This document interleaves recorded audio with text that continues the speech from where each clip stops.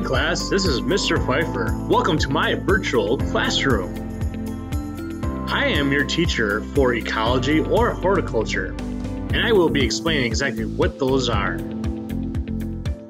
So let's talk about ecology and how awesome this class will be. The first thing that we're going to be learning about is biodiversity.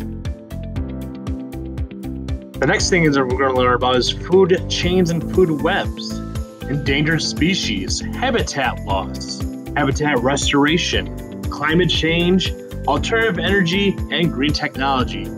This class is one of my favorite classes to teach, and I hope that you guys will enjoy this class this semester.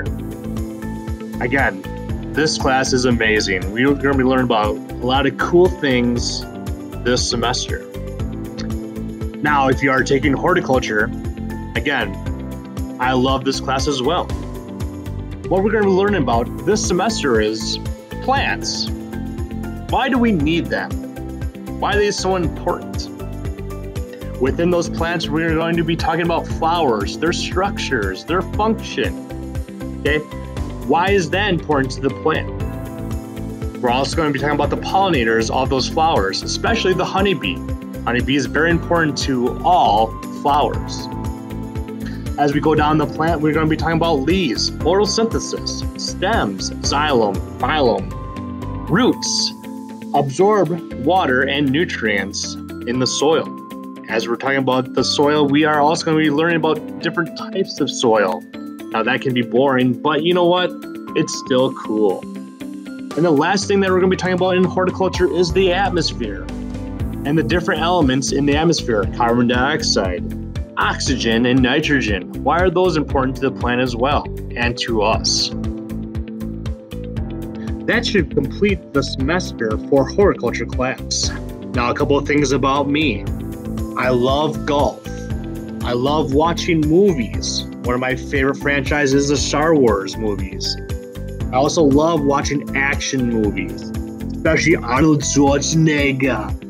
Get to the chopper. It's not a tumor. I'll be back. I love impersonations as well. One thing I really love is Brewers baseball. I've been married to my wife of 12 years, Amber. We also have three wiener dogs.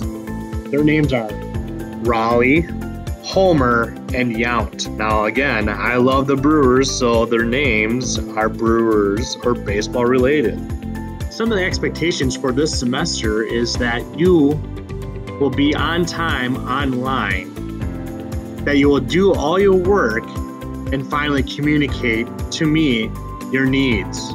So if you have any problems, that we can communicate and we can be successful for this semester.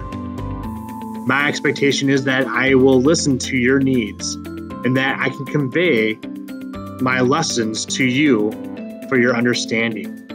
I hope that you enjoyed this video and I hope to see you guys soon for a very successful semester.